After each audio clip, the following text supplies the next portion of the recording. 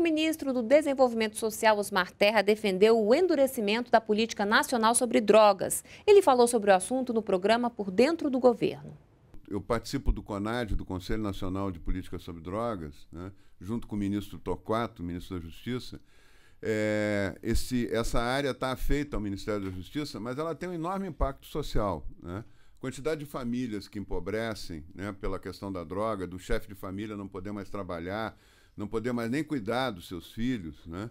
É, essas cracolândias que se multiplicam no Brasil todo, né? tudo isso é reflexo de uma grande epidemia de drogas que teve que explodiu a partir de 2006. Não, não se montou um aparato no país para enfrentar não só o tratamento, como para enfrentar a epidemia da violência também e da distribuição. A epidemia da droga ocorre por um aumento da oferta gigantesco nas ruas, porque entra mais droga pela fronteira, porque tem uma série de fatores, mas é, é, tem que reduzir a oferta né, para sair dessa situação. Nós temos que reduzir a oferta, portanto, tem que é, haver uma repressão ao, ao, crime organizado, tem que ter uma repressão firme, organizada, né, contra a, a distribuição de drogas. Né? As leis têm que ser mais duras, tem que aumentar a pena para o tráfico de drogas né? e, e, fazer com que a, as pessoas é, pensem duas vezes antes de vender droga ou que fiquem fora da rua mais tempo é, para diminuir a, a oferta na, na, rua.